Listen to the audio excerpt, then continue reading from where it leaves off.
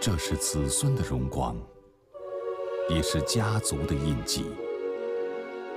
远去的历史笼罩在迷雾之中，水落石出的时候，扑朔迷离的故事才刚刚开始。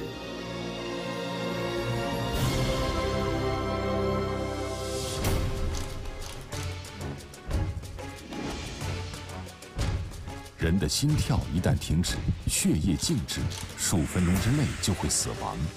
人体在死后数天开始腐烂，然而 DNA 却留在骨细胞里。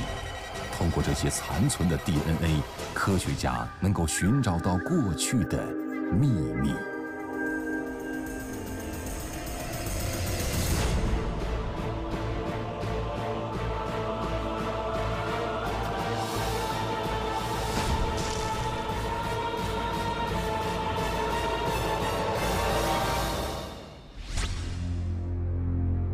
零九年，河南安阳号称曹操墓出土，报告有男性遗骨。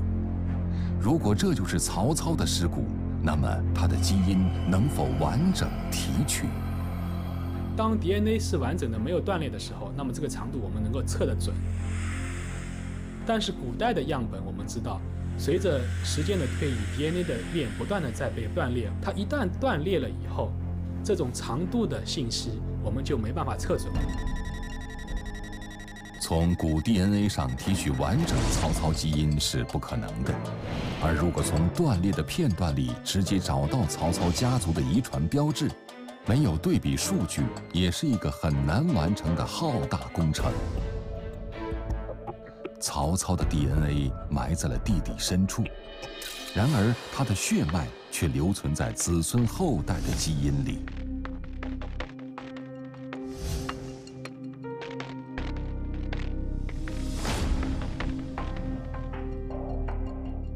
在男性体内有一段由父系遗传的稳定片段 Y 染色体，在代代相传的过程中，Y 染色体上的点会随机发生一些新的突变，其中有一种突变类型叫做 SNP。SNP 的突变它是非常非常慢的，这个点上面产生了突变以后，它要过了很久很久以后，三千万代以后才会再突变掉，也就是说。在祖先里产生以后，在后代里面不不会丢失，所以曹操的这个 SNP 类型呢，在他的后代里面永远能够检测得到。每个家族都有一些特征性的 SNP 类型，调查小组已经提取了上百份号称曹操后裔的基因样本，他们能透露出什么样的信息呢？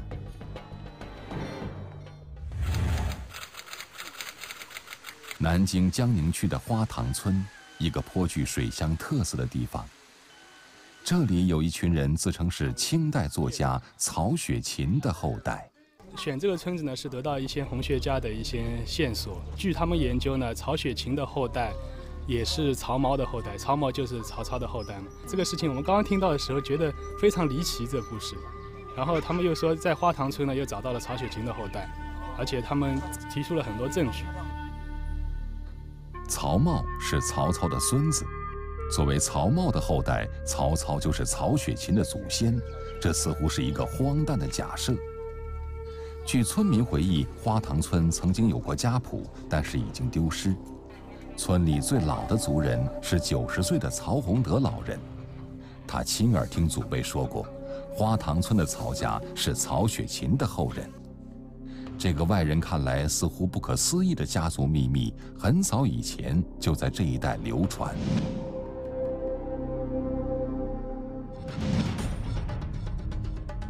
家谱的不确定性决定了调查小组必须四处追寻一切和曹操后代有关的痕迹，哪怕是捕风捉影，或者是口头传说。而对于兴致前来参加验血的村民来说，搞清楚自己的祖先是谁，远比是否为名人之后更为重要。在采样过程中间呢，我们发现，不管是专家学者还是老百姓，都在思考这样一个问题：就是我们是谁？我们到底从哪里来？他们每个人都想知道。包括我最早跟他们联系的时候，跟那个曹洪德老先生的孙子曹静联系，然后他说：“哎呀，我打电话过去的时候，他们正在讨论这个问题，他正在跟爷爷讨论这个问题。”也许基因技术能够解开无数的秘密。但是宗族血脉却是无可替代的岁月传承。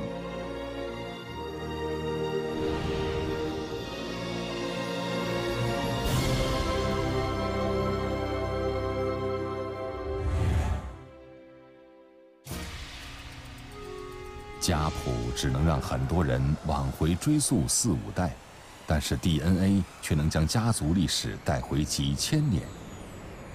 部分志愿者和安徽亳州的曹氏家族测出了一种类型，O 三 A 四。这个疑似的位点是否和曹操有关？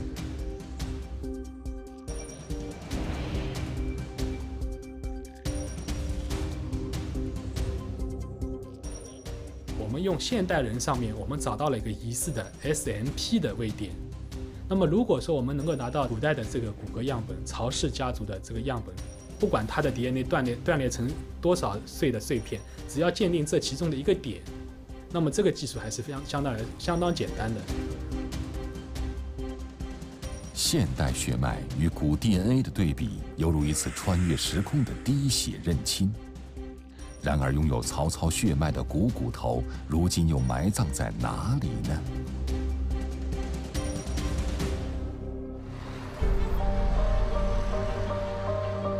复旦大学基因调查组，一个由资深历史学家和遗传学家组成的研究团队，他们试图破解曹操的遗传密码。曹植失落的遗骨究竟在何方？古代 DNA 能否完成现代血脉的鉴定？二零零九年年末，山东东阿县。在曹操墓引起世人喧嚣的时候，这座北方的普通县城却一切如常。然而，也许很少有人知道，东阿虞山的西麓，一位和曹操血脉相连的人就埋葬在那里。一九五一年春天，一次重大的古墓发掘在东阿展开，这次考古行动轰动了社会各界。人们怀疑墓的主人就是曹操曾经最宠爱的儿子曹植。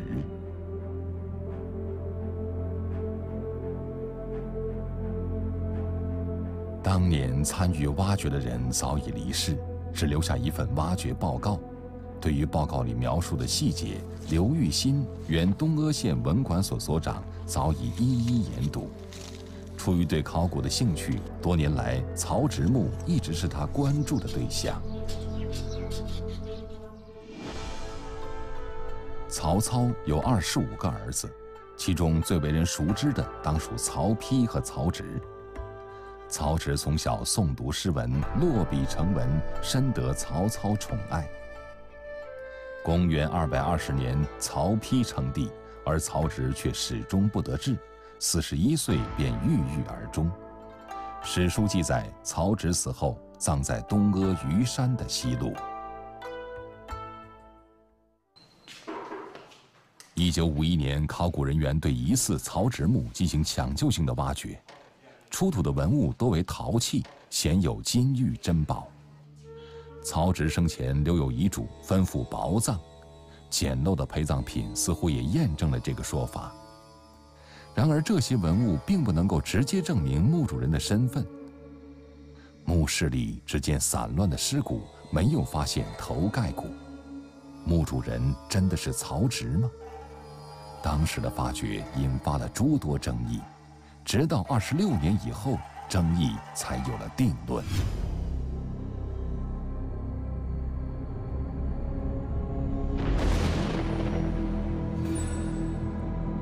一九七七年，考古人员在疑似曹植墓的地方意外地发现了一块木砖，木砖的三面刻满了铭文。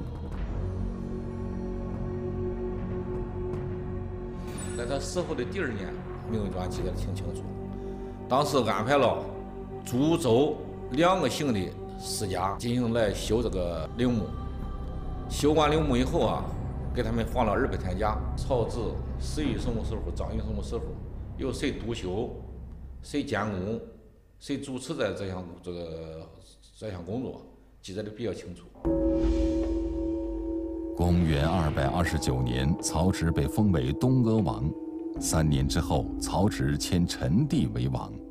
古陈位于今天的河南境内。不久，曹植就病逝于此。曹植封东阿王期间，常登虞山，他对虞山的风土念念不忘。其子曹植遵照遗愿，将他从古陈迁葬于东阿。铭文砖的出土确定了墓主人的身份，然而在今天文馆所收藏的曹植墓出土文物中，却唯独不见曹植的尸骨。提取古 DNA 最需要的骨头究竟在哪里？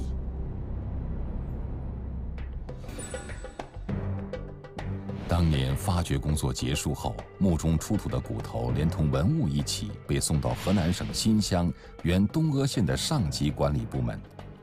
循着这条线索，多年来刘玉新一直在调查这些骨头的去向。我曾经和河南省新乡文物部门取这个取这个联系，没有发现有关接收曹植墓出土尸骨的记录。一九五二年，曹植墓出土文物被送到北京展出，之后便存放于中国历史博物馆。那么，骨头是否也在这些文物之列呢？一九八四年，中国历史博物馆在移交曹植墓出土的文物给东阿县的时候，我们在这个中国历史博物馆也没发现有关这个曹植墓出土这个实物的记录。根据考古报告，当时墓地文物摆放紊乱，墓穴显然被盗过。骨头即使找到了，如何才能确定就是曹植的？有学者甚至怀疑，当年出土的二十八节骨头根本就是盗墓贼的尸体。一千八百多年来，曹植墓饱经沧桑，曹植的尸骨还没辨明身份，就已经离奇失踪了。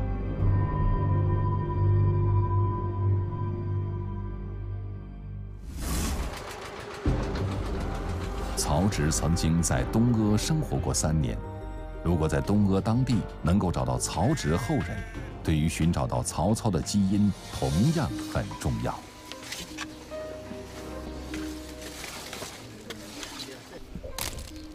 当时发掘的是六月份，五一年的六月。那假设一说挖曹家族人的坟墓呢，像打仗似的，坚决阻止不让他们挖。呃，有一个一个叔叔叫曹克营。他双目失明，当时在那闹得最厉害。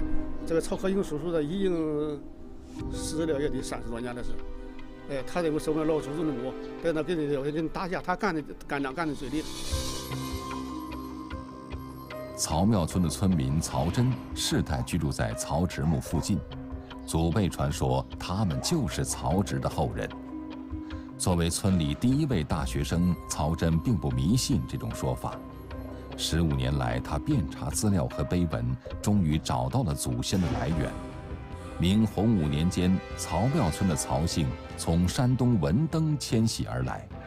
很显然，他们是在曹植死后千年才定居于此。曹植的后人也许不在东阿，但东阿却永远留住了这位才子的灵魂和精神。曹庙村的老曹虽然认定自己不是曹植的后代，但也许基因测试会告诉他一个不一样的结果。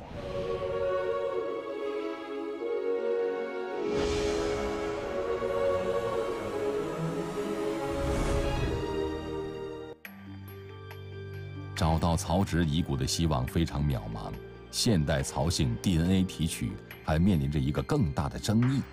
那就是曹操到底是不是真的姓曹？曹操的祖父曹腾是东汉著名的宦官，他先后侍奉过四位皇帝，位高权重。有传说曹腾曾经抱养了一个孩子，这个孩子在他的抚养下长大成人，最后官至太尉。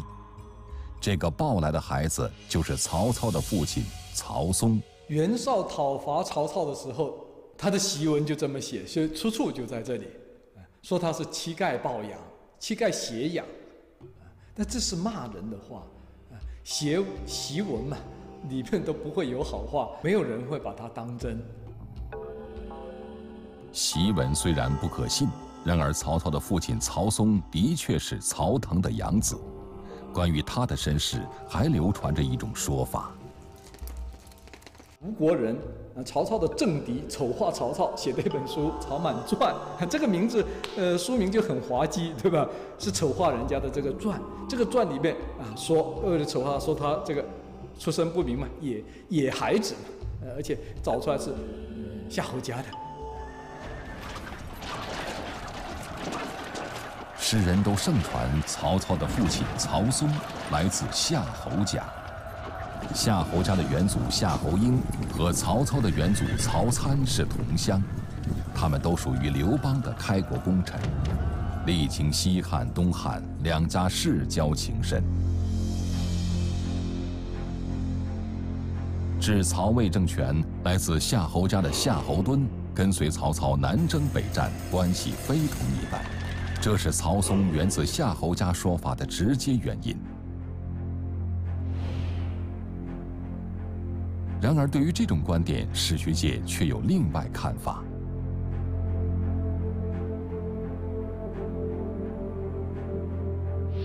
曹家这个曹家，曹操这一家里面几代出现的这个哪一支没有男孩啊，香火传不下去，他一定要去过继。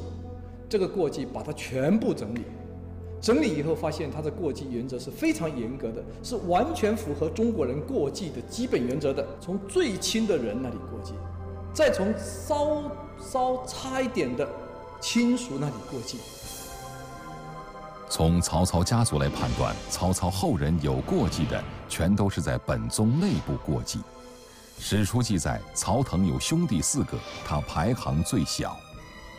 曹腾这一家兄弟也很多，兄弟关系也很亲密，他不可能随便去抱养一个孩子。曹嵩必定是从曹腾本家的曹过继过来，所以他们的血统血脉是一致。此外，夏侯家和曹家世代通婚，也成为了曹嵩不可能出自夏侯家的理由。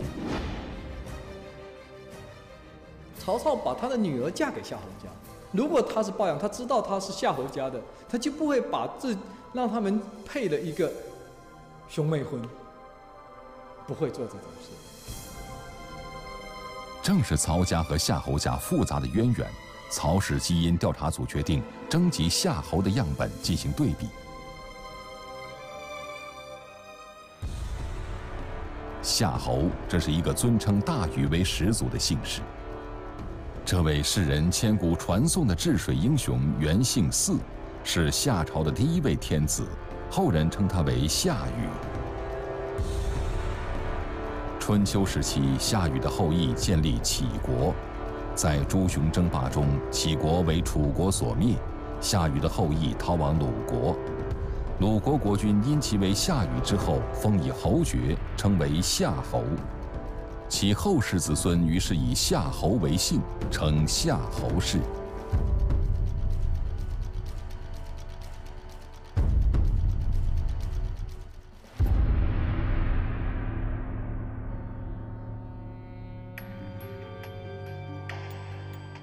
历史学家推测，曹操不可能出自夏侯氏，基因样本比对却出现了一个令人吃惊的结果。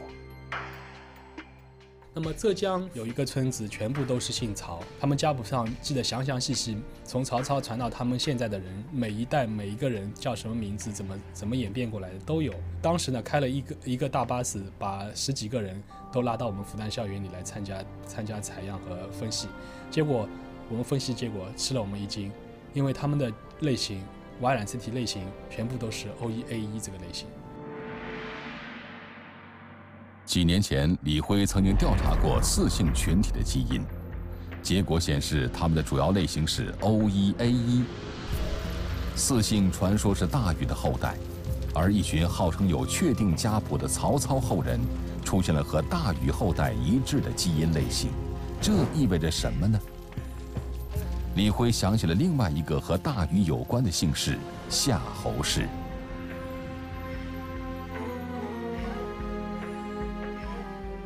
我们马上在网上发了一个召集令，然后在上海地区召集到了三四个夏侯的人，结果坐下来我们又大吃一惊，四个人里面有三个人居然都是 OEAE 这类型。历史传说，曹操的父亲来自夏侯家，此时一群号称曹操后代的人出现了和某些夏侯一样的基因类型。难道他们会是同宗血脉，都是大禹的后代？如果基因能够证明曹操后人与夏侯氏一致，那么那个所谓千年的谣言难道会是真的？曹操真的拥有夏侯的血统吗？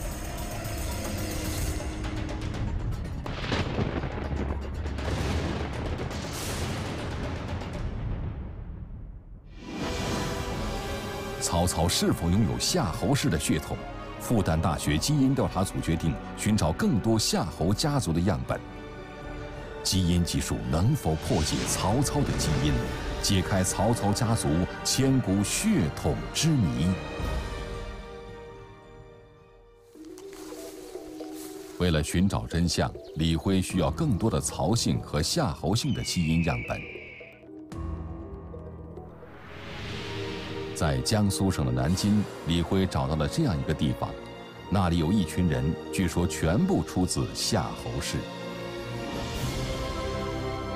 那么有志愿者给我们提供线索，当地的志愿者给我们提供线索，说河凤镇这个地方有七个村子都是姓夏侯的。那么这样子夏侯姓集中的分布的地方呢，在全国来说也是比较少见的，所以我们就选择了这个地方采集夏侯。河凤镇的夏侯姓虽多，但并非聚族而居，这给采样小组带来了困难。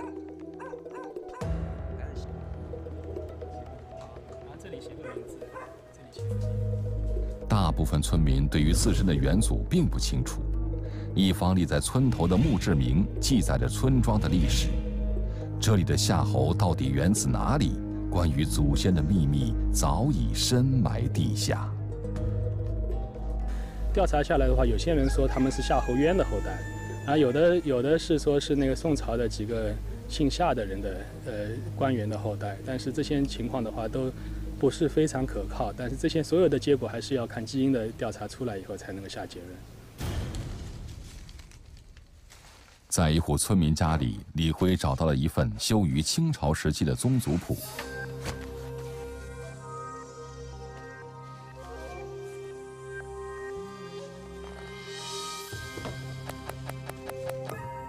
然而，这份族谱只追踪到五代，并没有更早之前史迁祖的明确记录。而且和全国不少地方的夏侯姓一样，这里的很多村民也改成了单姓。那个姓字嘛，那肯定是怕麻烦嘛。你叫个什么名字啊？还要填个后在这里面。小，像我们我们又不懂，干脆就叫夏什么，是吧？像我们父亲他们又是要下河的。小时候哟，在看到我们父亲他们的姓的话，都在扁担上、箩筐上，什么挑水的那个水水桶上面都都好的那个字，夏侯。夏侯的采血工作仍在继续，DNA 技术一旦将夏侯姓与曹姓联系起来，那将引起人们对那个光荣时代的无限猜想。如果测出曹操和夏侯是一家的话，我也挺自豪的，因为觉得是贵族的后代。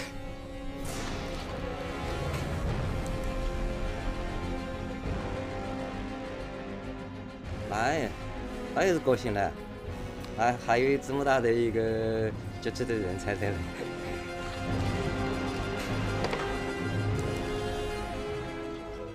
因为在外国的话，人家都以家族荣耀为荣耀，对吧？然后我觉得话，这这样的话，对于我们家族来说的话，也是一份荣耀。我是谁？我来自哪里？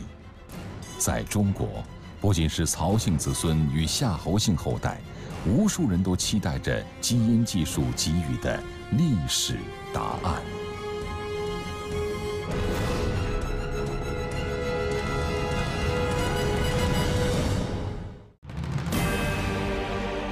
曹植的遗骨离奇失踪，两个疑似曹操的基因类型。遗传学能否解开历史的谜题？曹操的基因能否在子孙后代的血脉中重生？敬请收看《破译曹操密码之 DNA 的猜想》。